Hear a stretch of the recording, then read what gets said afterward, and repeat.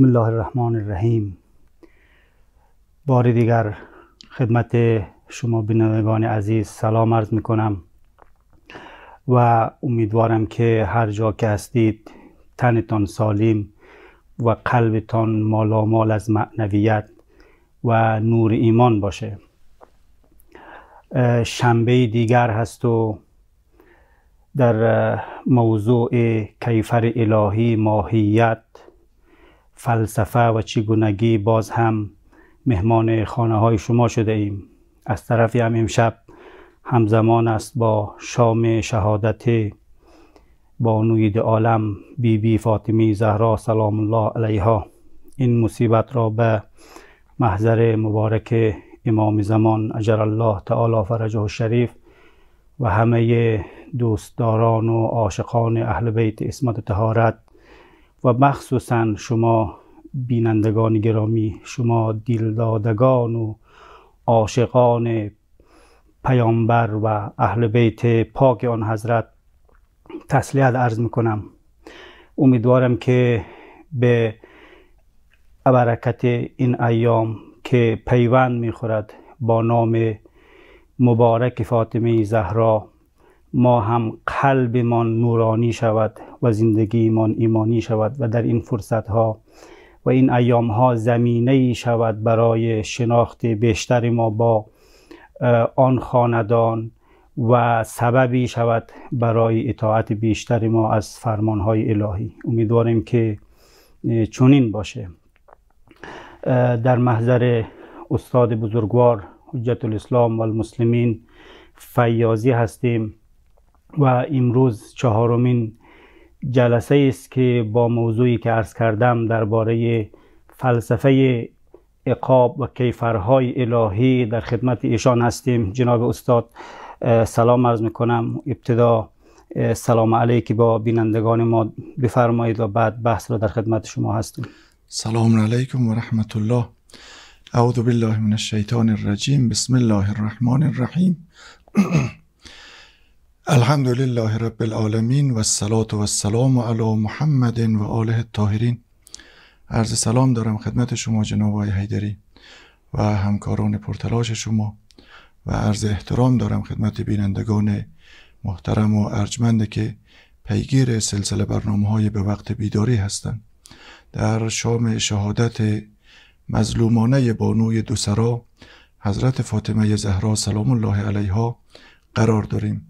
شهادت مظلومانه آن بانوی بزرگوار را خدمت فرزند بزرگوارش امام زمان عجل الله تعالی فرجه الشریف خدمت شما همکاران گرامی شما و محضر بینندگان محترم و ارجمند و سوگوار در این ایام تسلیت و تعذیت عرض می‌کنم انشاءالله خداوند به ما توفیق بدهد که در این ایام از معارف و آموزه های فاطمی و از سیره و روش و رفتار و عمل کرده آن بانوی بزرگوار انشاءالله الگو بگیریم و سرلوحه کارهای ما باشد انشاءالله. در خدمت شما خب جناب استاد در جلسه گذشته ای که خدمت حضرت عالی بودم نظریاتی را که درباره فلسفه اقاب و کیفر اخروی بیان شده بررسی فرمودیم.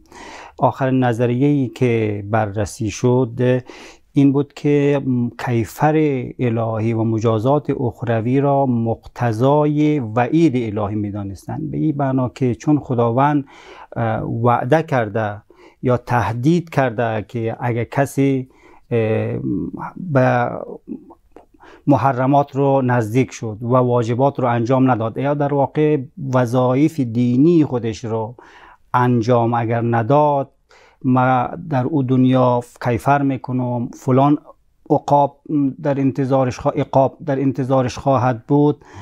چون وعده کرده و تهدید کرده این نظریه می گفت که خب خدا هم است باید به وعده خود عمل کنه. خب این نظریه بررسی شد. شما فرمودین که اگر یاد بینندگان عزیز ما باشه که آنچه که واجب هست عمل به وعده هست نه عمل به وعید و تهدید. و با توجه به رحمانیت خداوند و مهربان بودن خداوند و گستردگی رحمت خداوند خب خداوند درست وعده کرده تهدید کرده و این تهدیدش یک سری اهداف و کارکردهای دنیوی داشته و ممکن هست که او دنیا عملی کنه بعد خود و ممکن هم است که عملی نکنه. اگر در این باره نکته مطلبی مانده که بفرمایید وگرنه بفرمایید ادامه بحث را بفرمایید لابد دیدگاه های دیگه هم هست که حضرت عالی بله. مد نظر دارید که در با موضوع بحث باید بررسی شود. بله. خدمت شما و خدمت بینندگان محترم ارز کنم که ما باز هم اشاره بکنم به یک پیوند و علتی که چرا این بحث مطرح شده است. اندیشمندان مسلمان دانشمندان اسلامی در حوزه های مختلف بله. علوم اسلامی چه علوم نقلی و چه علوم عقلی چرا این فلسفه ها و این نظریات رو مطرح کرده است به خاطر ای بود که ما گفتیم او انگیزه هایی که او غرض هایی که در مسئله اقاب و کیفرهای دنیایی مطرح است نمی‌تواند انگیزه و هدف در کیفر آخرتی خداوند باشد بله. لذا اندیشمندان مسلمان آمده است نظریاتی را برای تبیین خود اقاب الهی کیفر الهی فلسفه آن اندیشمندان آمده است نظریات مختلفی مطرح کرده است. برای جواب به اون سوال برای جواب به اون پرسش اساسی که بالاخره چرا؟ اصل کیفر علت او چیست؟ فلسفه و علت کیفر الهی چیست؟ اخروی چیست؟ چهار پنج نظریه رو ما تا به حال مطرح کردیم بررسی کردیم که اینا نمی‌تواند من فقط نامی این نظریات رو اشاره بکنم. یک نظریه این بود که کیفر مقتضای عدل الهی است. بررسی شد توضیح داده شد و نقد شد که بله. نمیتواندی درست باشد. دومین سخن این بود بعضی گفته بود اصلا سوال از کیفر الهی نادرست است. سوال از فلسفه کیفر و فلسفه اقاب نادرست است که گفتیم اگر قرار باشد این سخن را ما بپذیریم کل سوال از شریعت و سوال از اصول دین در حقیقت زیر سوال می رود ناروا می شود. چون اصول دین ما با عقل بالاخره با خرد قابل اثبات است. اگر ما عقل را تعطیل بکنیم کل اصول دین را در حقیقت ما انکار کرده ایم و اثبات اونها را ما نتوانسته ایم. به انجام و به فرجام برسانیم. بله. یا نظریه دیگر این بود که کیفر غایت, غایت تکلیف و هدف تکلیف است. یه هم نتوانست یک نظریه درستی باشد. بله. چهارمین نظریه این بود که عقاب و کیفر الهی زامن اجرایی تکلیف است. که یه هم بررسی شد مفصل نمی‌تواند فلسفه حقیقی و علت حقیقی باشد. و پنجمین نظریه یا پنجمین دیدگاه هم که شما اشاره کردیدین بود که عقاب و کیفر مقتضای وعید و تهدید الهی است بله. که هم نمی‌تواند فلسفه اصلی و علت اصلی کیفر و مجازات خداوند در جهان آخرت نسبت به انسانهای معصیتکار و گناهکار باشد اشاره بکنم به ششمین نظریه. ششمین نظریه که در این زمینه مطرح شده است. بعضی از اندیشمندان و بعضی از متکلمان مسلمان اینگونه گفتند که عقاب و کیفر یک نوع لطف است.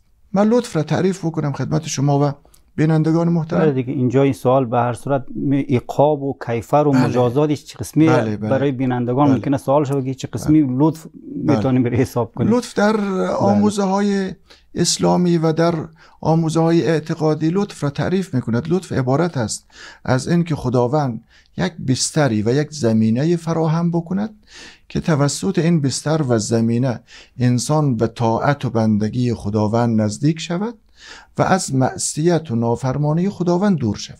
در واقع یک اصطلاح کلامی هست یعنی لطف در کلامی این علم این معنا را بله بله اصطلاح بله. کلامی و اصطلاح اعتقادی است. یعنی زمینه این که انسان به بندگی خداوند نزدیک شود و از معصیت و نافرمانی خداوند دور شود از این تعبیر می‌کنه در اصطلاح کلامی و اعتقادی به لطف. من مثال بزنم. مثلا می‌گوید ارسال پیامبران لطف است.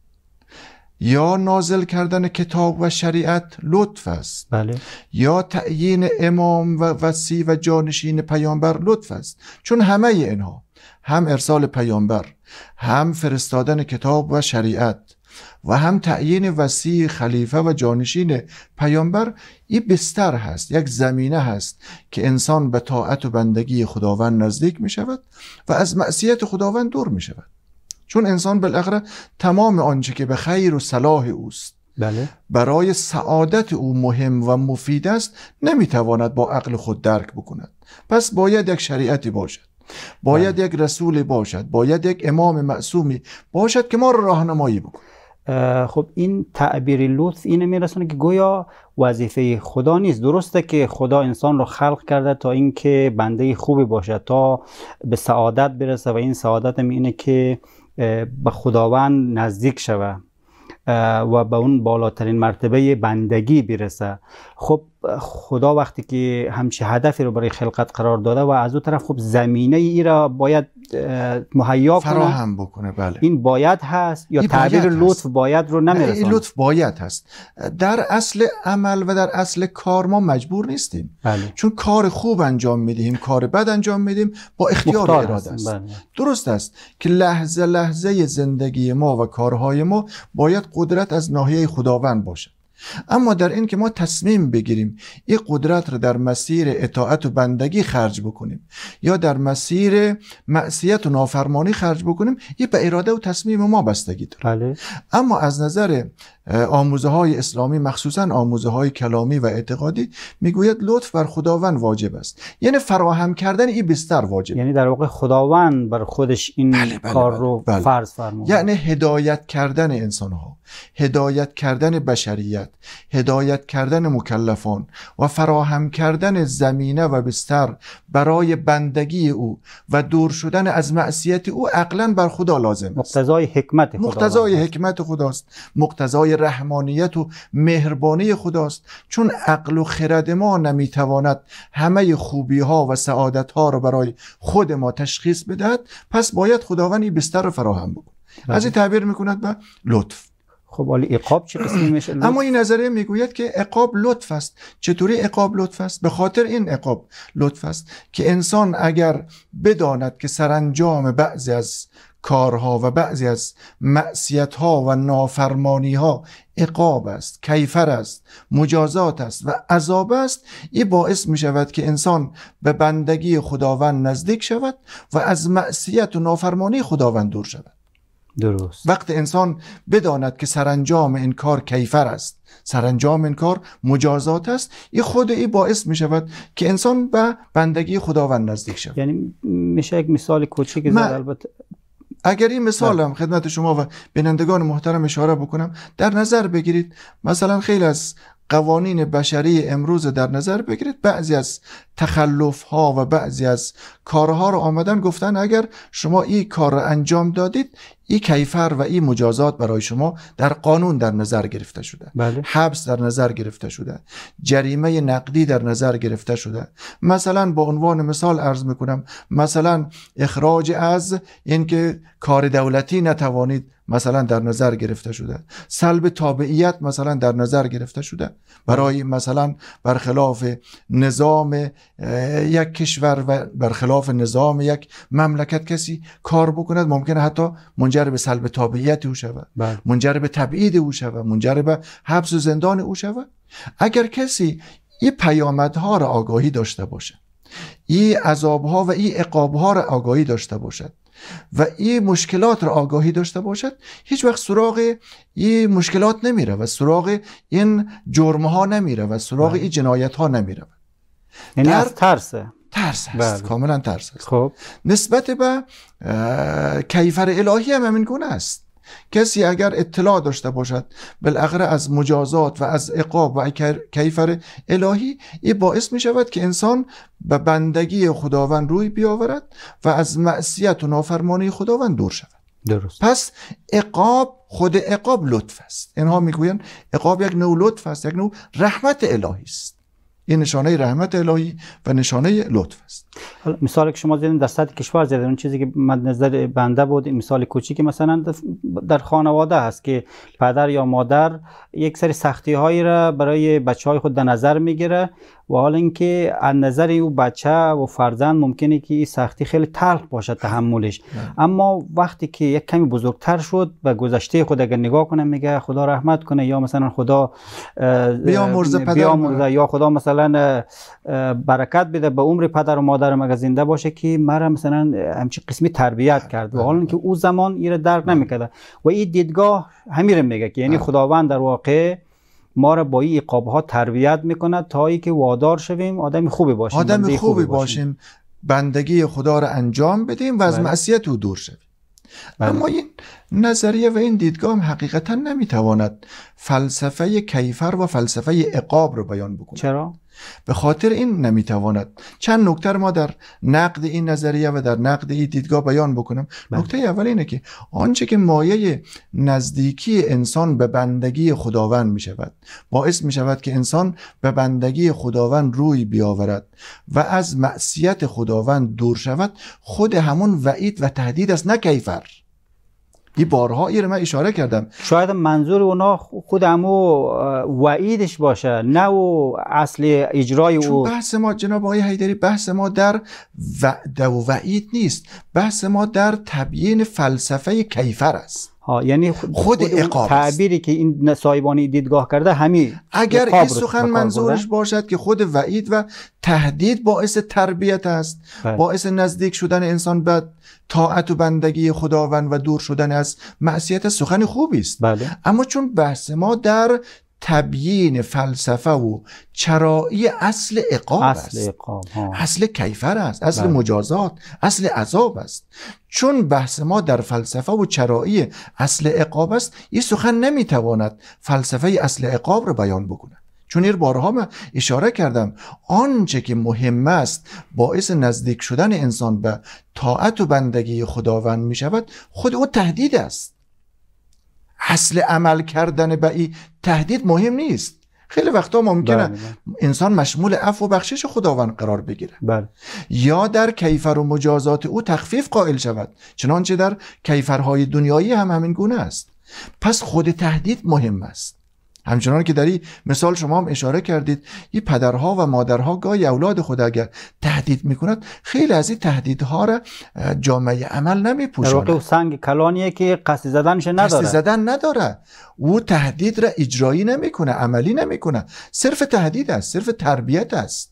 با این تهدید می‌خواد تربیت بکند. پس بله. آنچه که مهم است در این که انسان به طاعت و بندگی خداوند نزدیک شود و از معصیت و نافرمانی دور شود خود همون وعید و خود تهدید است. نه عقاب کردن نه مجازات کردن نه کیفر کردن و نه هم عذاب کردن. یک نکته است.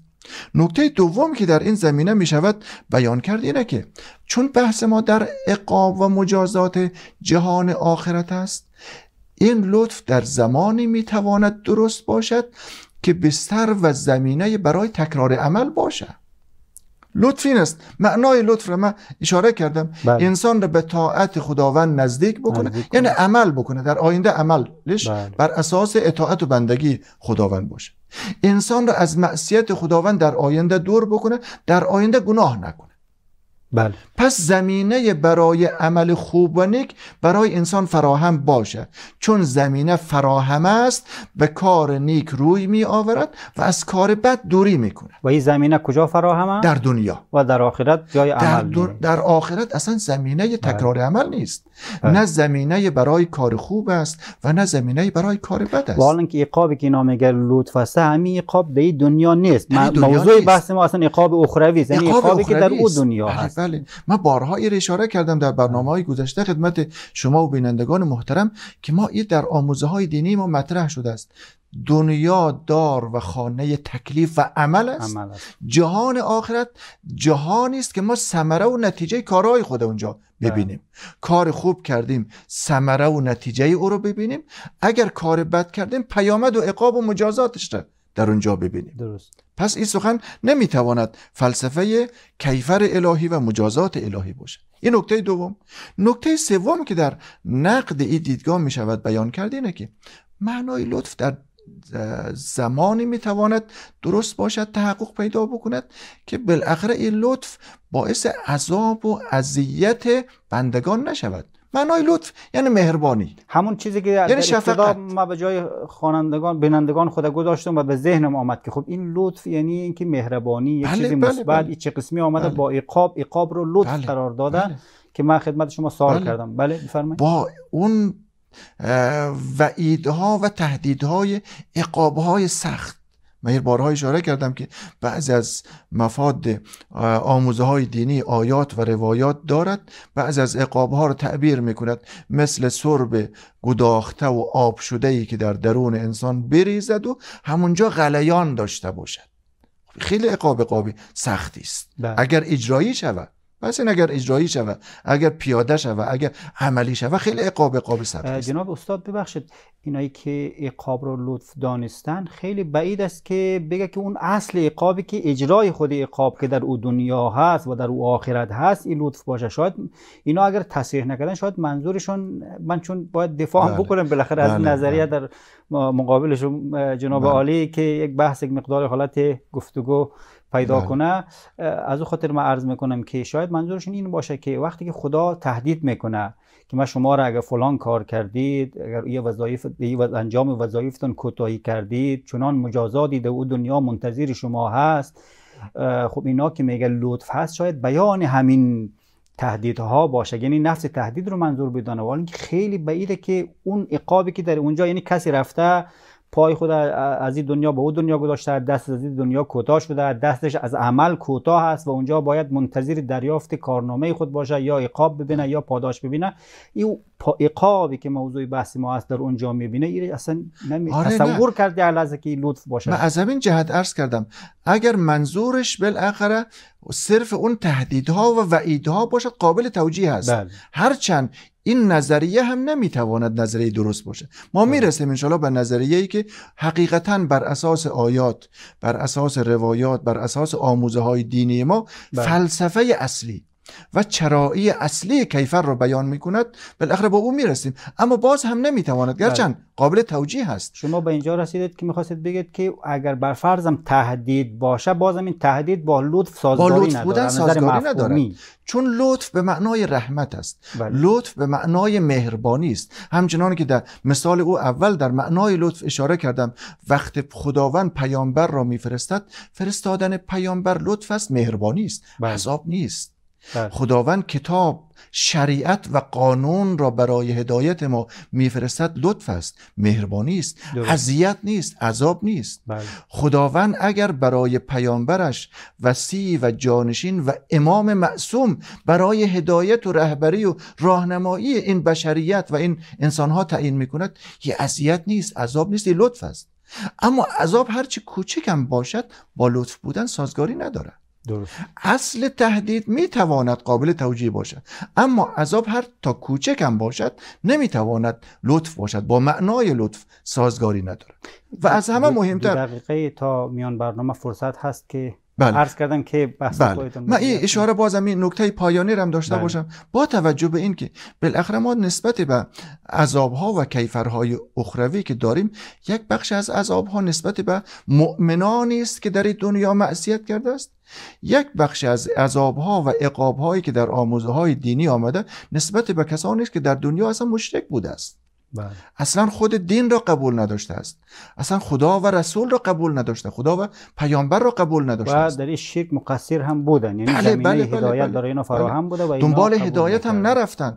و بر اساس آموزه های دینی عقاب اونها و کیفر اونها کیفر مخلط و جاودانه است. بله. پس این نمی‌تواند با معنای لطف با معنای مهربانی سازگار باشد. سازگار. پس در حقیقت با توجه به این سه چهار نکته ای که اشاره کردم نمی‌تواند این دیدگاه ششم که گفته است عقاب لطف الهی است این فلسفه اصلی ماهیت اصلی و اون چرایی اصلی کیفر و عقاب الهی رو بیان بکنه درست. این ششمین دیدگاهی است که در این زمینه بیان شده است و بعضی از متکلمان و بعضی از اندیشمندان مسلمان این سخن رو گفتن که بالاخره فلسفه کیفر و فلسفه عقاب الهی این است که لطف است. که عرض کردم با توجه به این نکات و با توجه به این توضیحات این هم نمی‌تواند. هرچند ممکن است بالاخره تا جایی اگر ما این رو توجیه بکنیم به معنای وعید و تهدید الهی تا جایی ممکنه قابل قبول باشد.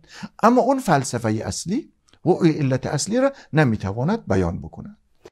ششمین نظریه است. بسیار عالی. اگر اجازه بدهید یک میان برنامه ای رو با بینندگان محترم ببینیم و دوباره برمیگردیم بحث رو ادامه می‌دهیم.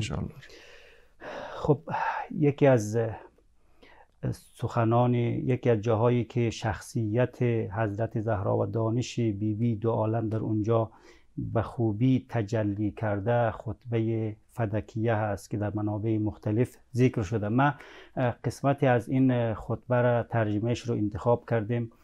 خدمت شما بخوانم. انشالله که بهرمند شویم. بی بی دو عالم فاطمه زهرا سلام الله علیها میفرماید خطاب به من و شما خطاب به مسلمان ها گرچه او زمان خطاب مخاطب مستقیمش کسایی بوده که در مسجد پیامبر حاضر بودن ولی مخاطب همیشگی این سخنان همه مسلمان ها بلکه همه انسان ها هست میفرماید خدای بزرگ ایمان را برای پاک کردن شما از شرک قرار داد و نماز را برای پاکی شما از تکبر زکات را برای تسکیه نفس و افزایش روزی روزه را برای تثبیت اخلاص حج را برای استحکام دین عدالت ورزی را برای التیام قلبها اطاعت ما خاندان را برای نظم یافتن امت امامتمان را برای رهایی از تفرقه جهاد را برای عزت اسلام و صبر را برای کمک در به دست آوردن پاداش قرار داد. امیدواریم که با تمسک به پیامبر و اهل بیت آن حضرت زندگی سرشار از ایمان داشته باشیم. خب میان برنامه ای رو ببینیم و برمیگردیم.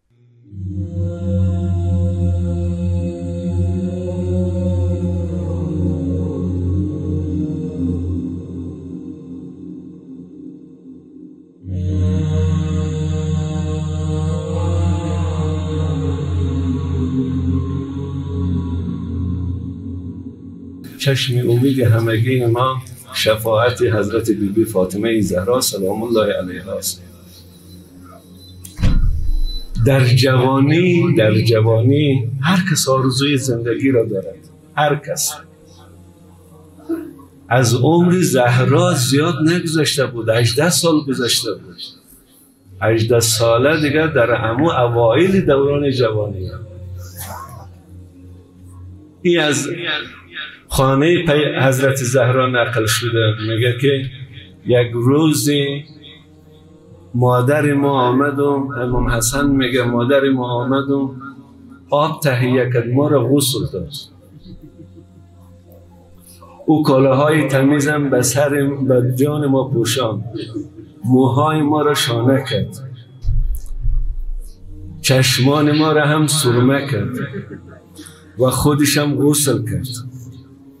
کالای پاکی را پوشید. صدا زد بچه های امروز بریم یک جایی گفتیم باشد مادر. میگه ما رو بود بالای قبل پیغمبر جد راز و نیازی با پدر شروع شد توسط حضرت زهرا. گریه کرد ما هم گریه کردیم. یک وقت صدا زد بچه ما پیش حساب میشیم شما پشت سر ما رو بروی قبله. زهرا یک حاجتی داره شما آمین بگیم گفت مادر خوب ما آرزوی ماهی بود توقع ماهی بود. مادر آمده قبل پیغمبر قبل پدرش از خدا شفای خودش رو می‌خواد یک وقت دیگه ما آمین می‌گفتیم زهرا دعا می‌کرد آمین می‌گفتیم زهرا دعا می‌کرد. صدا زد بچه این دعایی که می‌کنیم بلندتر آمین بگوییم. این باشد مادر صدا زد خدای به حق علمی قبل مرگ زهرا رو برسان دیگه زهرا تاب و طاقت و تحمل زندگی در این دنیا رو ندارن. زینب کم بود. این مصیبت ها دیگه کم بود که حالا دوباره تو هم مرگ خود را از خدا می‌خواهیم.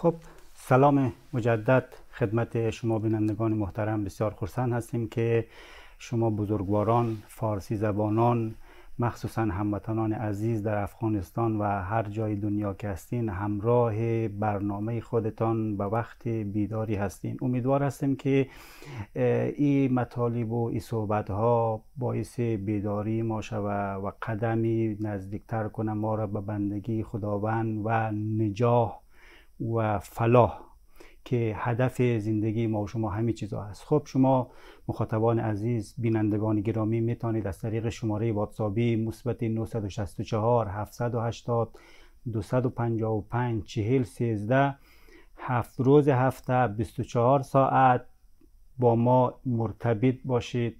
از پیام بگذارید نظر پیشنهاد انتقادی اگر دارید با ما در میان بگذارید و ما سوالهای شما را با کارشناس های خودمان مطرح می‌کنیم و جوابش رو اگر خصوصی بود و خصوصیتون و اگر صلاح دانستید در شبکه در میان برنامه مطرح می‌کنیم که انشالله این ارتباط دو طرفه و دو سویه باشه و تنها قسم باشه که ما گوینده باشیم و شما شنونده و مخاطب باشیم شما هم ما را مخاطب خودتان قرار بدهید. پس ما مشتاق دیدگاه های شما و ارتباط شما با برنامه خودتان هستیم. همینطور یک تغییری که در برنامه های تلویزیون جهانی هادی پیش آمده ای را عرض کنم برنامه روشنا را که شما هر روز ساعت 11 تماشا می‌کردید به صورت زنده و مستقیم از امروز شنبه تغییر کرده از ساعت یک به وقت کابل این برنامه اجرا میشه تکرارش هم که همو شب ساعت 9:45 به وقت کابل این برنامه دوباره روی آنتن میره. خب فعلا هم که برنامه به وقت بیداری هستیم در خدمت شما و تکرار این برنامه را با توجه به همین جابجایی که صورت گرفته قبل از این شما بعد از اذان ظهر و نماز ظهر به وقتی کابل می‌تونستید ببینید از این به بعد شما می‌تونید که 15 کم 11 یعنی 10 و 45 دقیقه تکرار این برنامه ما را شما تماشا کنید. خب اگر اجازه بدهید خدمت استاد محترم برگردیم و ادامه بحث. جناب استاد آنچه که من استنباط کردم دیدگاه ششم که مطرح شد و شما دو سه تا نکته رو در نقد و بررسی این جواب فرمودید. اگر مطلب باقی مانده در تکمیل این دیدگاه که بفرمایید اگر نه دیدگاه بعدی رو مطرح کنید. بله.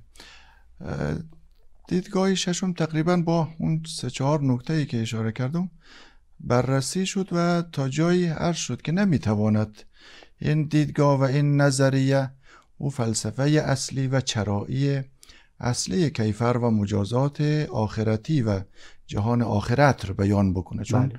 میر بازم تکرار بکنم خدمت شما و بینندگان محترم ما که بحث ما در فلسفه کیفر و مجازات در جهان آخرت است بله. جهان اخروی است بله. اما هفتمین نظریه و هفتمین دیدگاهی را که بعضی از متفکران بعضی از اندیشمندان مسلمان در این زمینه مطرح کرده است اینه که گفتن کیفر مقتضای خود معصیت است.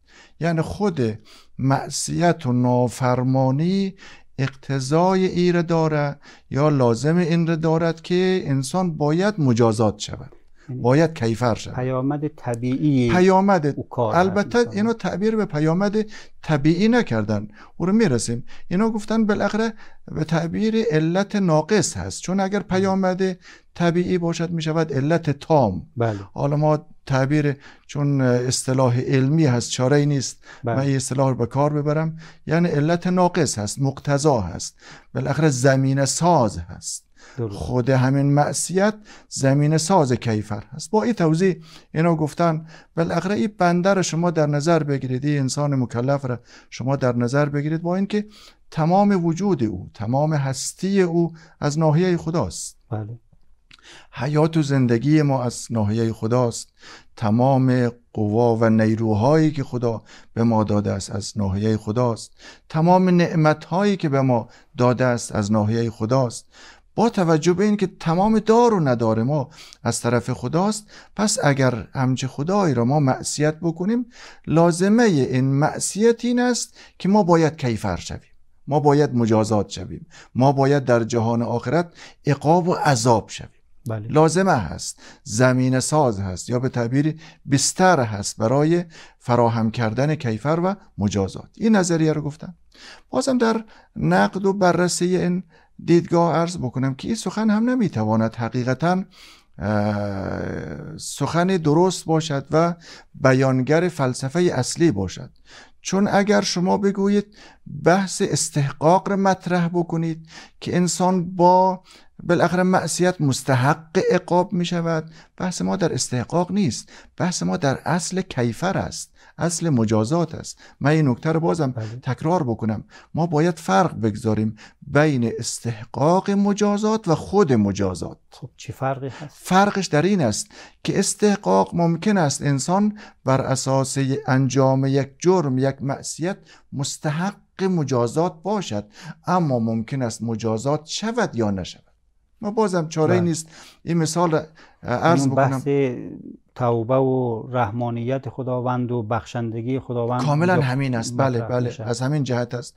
مثلا شما در قانونهای کشوری در نظر بگیرید بر اساس قوانینی که در کشورها بالاخره مطرح شده است بعضی از جرمها در قانون برای او کیفر و مجازات در نظر گرفته شده. اما وقتی این شخص این جرم را مرتکب می شود لزوما همیشه او کیفر را بالاخره سراغ او نمی‌گیرد. همیشه او کیفر نمی شود همیشه او مجازات گریبانگیرش نمی شود گاهی ممکن است بالاخره عفو و بخشش و تخفیف شامل حال او شود. بله. در عقابهای اخروی هم همین گونه است. قطعا گناه کردن مستوجب و مستحق عقاب می شود ما دروغ بگوییم تهمت بزنیم در حق دیگران ظلم بکنیم اینا همه مستحق عقاب هست. بله. اما ممکن است بالاخره شامل عفو الهی شویم مشمول عفو الهی شویم. با توبه بالاخره آثار او گناه بالاخره پاک شود. با اینکه ما بالاخره شفاعت بکند انبیا و اولیا و, کسانی که بالاخره شفیع معرفی شده است اونها شفاعت بکند بالاخره ما عقاب نشویم. اصل استحقاق مسلم است. اما اینکه عقاب شود یا نشود این بالاخره ممکن است انسان مشمول عفو و رحمت الهی شود و عقاب نشود. یعنی در اگر- واقع موضوع بحث ما استحقاق نیست. موضوع, موضوع بحث, بحث ما در اصل و عقاب. در او دنیا هست. موضوع بحث ما در این اصل بله. بله. موضوع بحث ما در اصل عقاب و کیفر شدن است. درست. در اصل عذاب است. نه اینکه در استحقاق باشد. چون در استحقاق ما بحث نداریم.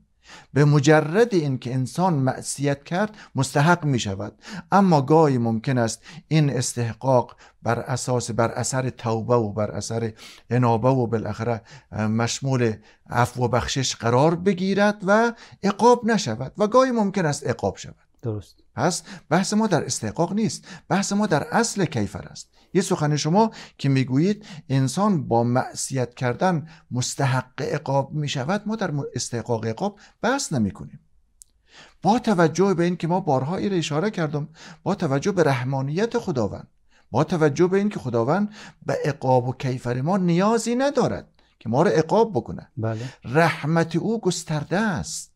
رحمانیت او گسترده است مهر و عطوفت او گسترده است. مهربانی خداوند نسبت به بندگان از پدر و مادر بیشتر است. قطعا. پس او نیازی نداره که ما رو عقاب بکنه.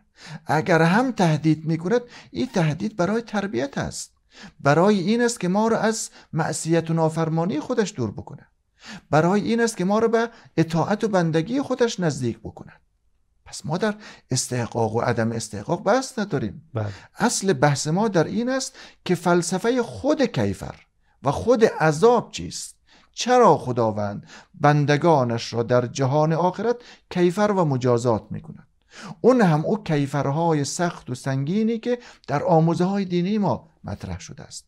یا او عذابهای مخلد و جاودانه که برای بعضی از مشرکان و کافران و امثال اینها مطرح شده است. بله.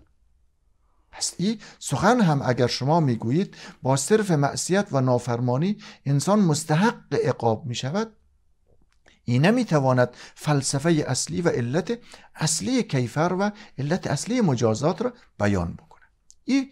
دیدگاه و این نظریه هم در حقیقت یک نظریه قابل قبولی نیست. ممکن است بالاخره تا جایی بتواند اما با توجه به این نکته ای که عرض کردم قابل قبول نیست. بله. نمی‌تواند انسانی که در این زمینه اهل مطالعه است اهل تحقیق است تسلطی تا جایی نسبت به آموزه های دینی دارد نسبت به مسائل معرفتی و اعتقادی و کلامی دارد نمی‌تواند او را قبول بقبولاند. نمی‌تواند بالاخره او را قانع بسازد. درست. این سخن نمی‌تواند او را قانع بسازد. این هفتمین هفتم.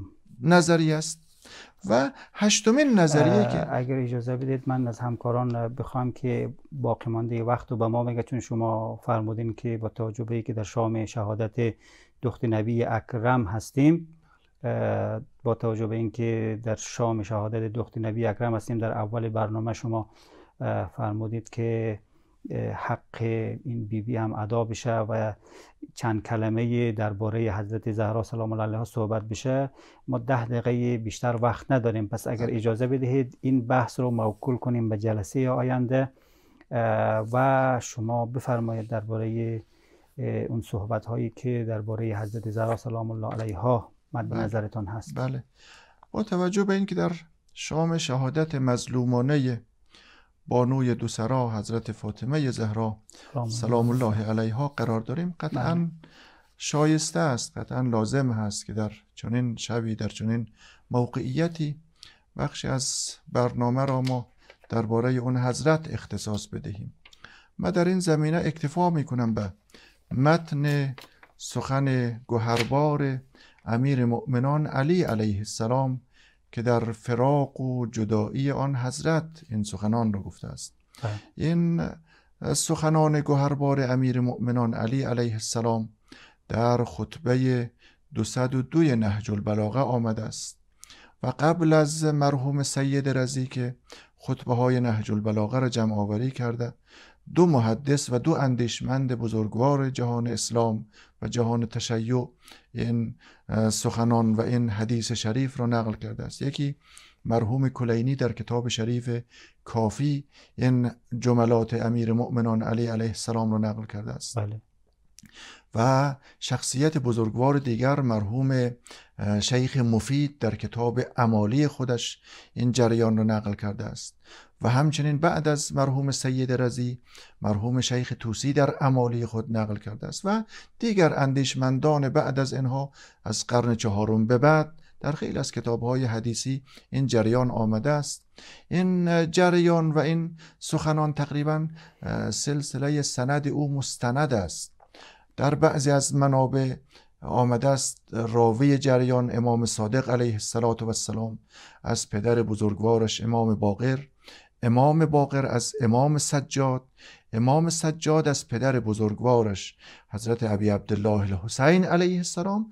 و ابی عبدالله الحسین این جریان و این سخنان را از کلام و بیان گوهربار پدرش امیر مؤمنان علی علیه السلام نقل می کند بله. در شاید در مثل چنین شبی بوده است. وقت حضرت صدیقه طاهره سلام الله علیها به شهادت می رسد بدن نحیف و لاغر آن بیبی بی دو, دو سرا را دو جهان را وقت دفن خاک می کند در دل خاک قرار می دهد و خاک بر بدن متحر آن بانو می ریزد سپس بر روی قبر متحر آن بانو می نشیند و رو می کند به مرقد متحر رسول مکرم اسلام و این جملات را زمزمه می کند که حقیقتا گویای اون غم و غصه عمیق امیر مؤمنان علی علیه السلام است.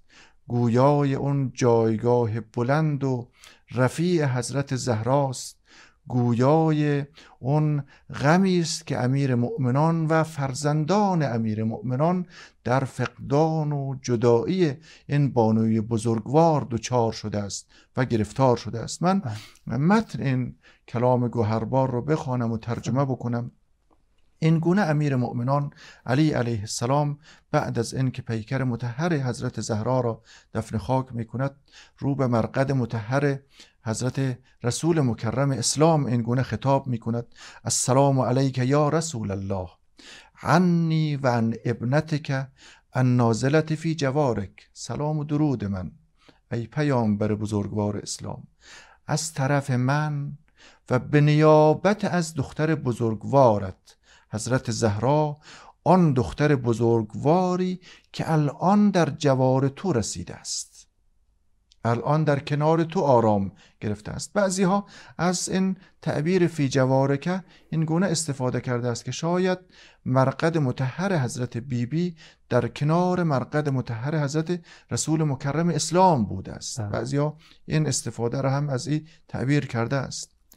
و از سریعت اللحاق بک آن فرزند بزرگوارت که چه به زود چه به زودی به تو ملحق شد.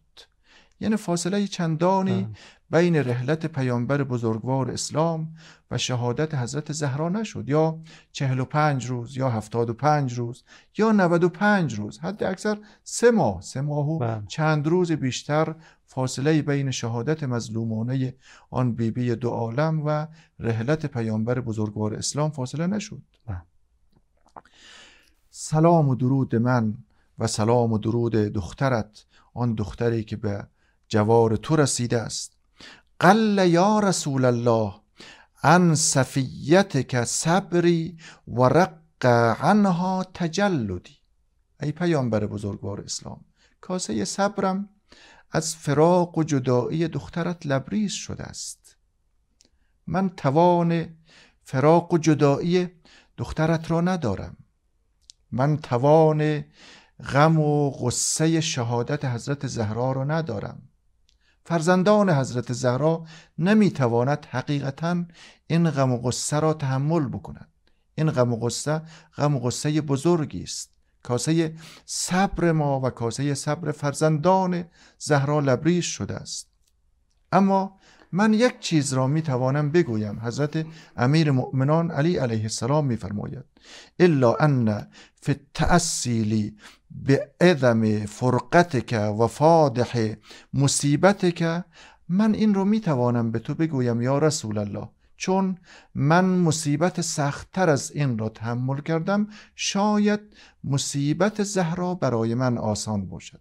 او مصیبت چیست؟ اون مصیبت سختی که علی علیه السلام تحمل کرد. میفرماید اون مصیبت مصیبت سختتر از مصیبت زهرا مصیبت رحلت تو بود. بله. من علی وقت مصیبت تو را تحمل کردم می‌توانم مصیبت سخت و جانگداز فراق و جدایی زهرا را هم تحمل بکنم. کدام مصیبت؟ مصیبت رحلت پیامبر را توضیح می‌دهد. فلقد وسدتك في ملحودة قبرك وفاضت بین نحری و صدری نفسک مصیبتی که سر مبارک تو در روی زانوی من بود. یا به تعبیر امیر مؤمنان سر مبارک تو یا رسول الله روی سینه من بود و تو جان به جان آفرین تسلیم کردی. کدام مصیبت؟ آن مصیبتی که پیکر متحر تو رسول مکرم اسلام را من با دستان خودم در لحد گذاشتم. من با دستان خودم در میان قبر پیکر متحر تو را گذاشتم. چون اون مصیبت را من خودم شاهد و ناظر بودم لذا می توانم مصیبت فقدان و جدایی زهرا را تحمل بکنم. اگر قبل از شهادت زهرا من این مصیبت را ندیده بودم نمی توانستم حقیقتا مصیبت زهرا را تحمل بکنم. این مصیبت برای من سخت بود. اما چون مصیبت رحلت تو را من پیش چشم خودم دیدم بدن متحر تو را من با دستان خودم در میان لحد گذاشتم می توانم من فراق و جدایی زهرا را تحمل بکنم. لذا در ادامه میفرماید فانا لله و انا الیه راجعون. پس همه ما از آن خداییم و همه ما هم یک روزی به سوی خدا باز میگردیم. در ادامه میفرماید فلقد استرجعت الودیعت و اخذت الرهینه. یا رسول الله اون امانتی که به دست من داشتی اون ودیعه که به دست من داشتی او به تو بازگشت. اون رهن و گروی که پیش من داشتی به سوی تو بازگشت. اما حزنی فسرمد یا رسول الله حزن من از فراق و جدایی زهرا دائمی سرمدی است همیشگی است. و اما لیلی فمسحد شبهای من شبهای بیداری است. شبهای من شبهای بیخوابی است. من بعد از زهرا نمی‌توانم شب را آرام بخوابم. نمی‌توانم شب را بدون غم و غصه زهرا بخوابم. الا ان یختار الله لی دارک التي انت بها مقیم. تا او زمانه که من هم در کنار تو بیایم من هم به تو و به زهرا ملحق شوم. تا زمانی که خداوند جان من علی را بگیرد این غم و غصه زهرا فراموش من علی نمی شود. و ستنبئک ابنتک به تضافر امتک علا حزمها. یا رسول الله از خود دخترت سوال کن. او به تو جواب می‌دهد به زودی به تو خبر می‌دهد که چگونه امتت اجتماع کردند. دست به دست هم بدهند دادند تا در حق او ظلم بکنند. تا او را بشکنند تا در حق او ظلم بکنند. فحفه السؤال یا رسول الله. اصرار بر سوال کن. ممکن است زهرا نتواند جواب اون همه ظلم و ستم ها رو بدهد. بله. اما یا رسول الله فحفه السؤال اصرار بر سوال کن. تو اصرار کن جواب تو را می‌دهد. و استخبره الحال. یا رسول الله حال زهرا رو سوال کن. این چهل و پنج روز این هفتاد و پنج روز یا این نود و پنج روزی که بعد از تو زندگی کرد چگونه بر زهرا گذشت؟ چگونه بر من علی گذشت؟ چگونه بر بچه های خردسال زهرا گذشت؟ از او اصرار کن. اصرار کن تا جوابت را از او بشنوی. هازا ولم یطل العهد و ولم یخلو منک الذکر. این جریان این جریان زمان طولانی نبود که بعد از رحلت تو گذشته بود. فاصله زیادی نشده بود. هنوز نام تو و یاد تو از ذهنهای مردم پاک نشده بود. هنوز غم و غصه رحلت تو را مردم فراموش نکرده بود که اون همه ستمها و ظلمها را در حق دختر مظلومت انجام دادن. و السلام علیکم و سلام مودعین. در ابتدا سلام و درود از طرف خود علی بود و به نیابت از طرف زهرا. در پایان سلام بر پیامبر و بر خود زهراست. من علی هم سلام و درود بر توی پیامبر میفرستم. همچون الان زهرا به تو ملحق شده است. در جوار تو قرار گرفته است و آرام گرفته است. من هم سلام و درود بر توی رسول الله میفرستم و هم سلام و درود بر دختر نازدانه ات زهرا میفرستم. سلام مود این سلام وداگونه است. من الان با زهرایم ودا می کنم لا قال ولا سعم این سلام من از روی ملالت و خستگی نیست. من تا ابد هم اگر بر روی مزجع شریف زهرا بمانم من خسته نمی شوم اما این سلام من سلام وداگونه است سلام خداحافظی است. بسیار عالی. استاد محترم با این سخنان حضرت امیر در فراق محبوبش بی بی زهرا سلام الله علیها قلب های ما در ذکر مصیبت این بانوی دو عالم مقدر شد انشالله که معجور باشید و معجور باشید. خب یاد شد از مصیبت وداع حضرت امیر با محبوبش بی بی دو عالم فاطمی زهرا من هم یک از غزل معروفی که از شاعر دلسوخته فضل الله قدسی در فراق و در مصیبت بی بی دو عالم هست. چند بیتش رو انتخاب کردم. تقدیم شما و بینندگان محترم می‌کنم. دلی غریب من از غربت زمان گرفت. به یاد غربت زهرا شبی بهانه گرفت. شبانه بغز گلوگیر من کنار بقه شکست و دیده ز دل اشک دانه دانه گرفت. کنار پنجره ها دیدگان پر اشکم سراغ مدفن پنهان و بی نشانه گرفت.